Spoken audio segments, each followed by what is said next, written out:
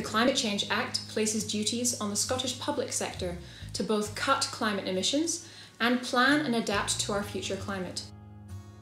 One of the most obvious effects of climate change is sea level rise. It is affecting Scotland's coast now, causing more frequent coastal flooding and coastal erosion.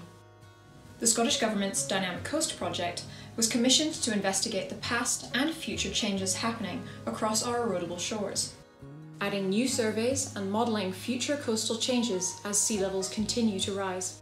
We've made 5.5 million calculations under low, medium, and high emissions climate scenarios to appreciate our different futures.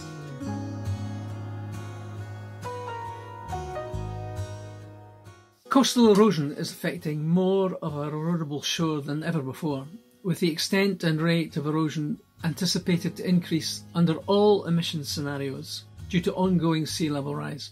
Even under a low emissions future, hundreds of millions of pounds worth of roads, rail, and houses will be at risk in the next 30 years. DynamicCoast.com provides the mapping and the data to allow us to rise to the challenges that climate change presents to become much more sea level wise. We must plan for these changes and invest in artificial defences and natural defences by working with nature.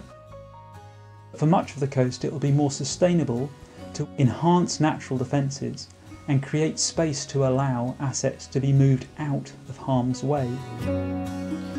We are encouraging local authorities to prepare coastal change adaptation plans supported by an additional £12 million of investment. Dynamic Coasts is part of this wider national programme to build climate resilient communities.